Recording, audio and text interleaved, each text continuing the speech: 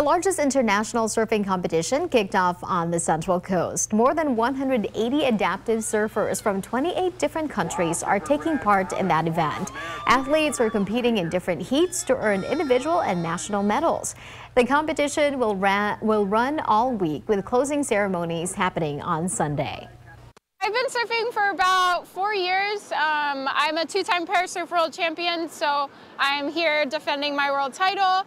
Being out in the ocean, you just feel like you're a part of something bigger and you just feel like your differences don't matter. And I feel like a lot of people with disabilities feel that way when they get out in the water. Like everyone's equal, the ocean doesn't discriminate, and I just love being out there and you can catch all the action at the Pismo Beach Pier. You can also watch live and view highlights on the International Surfing Association's website.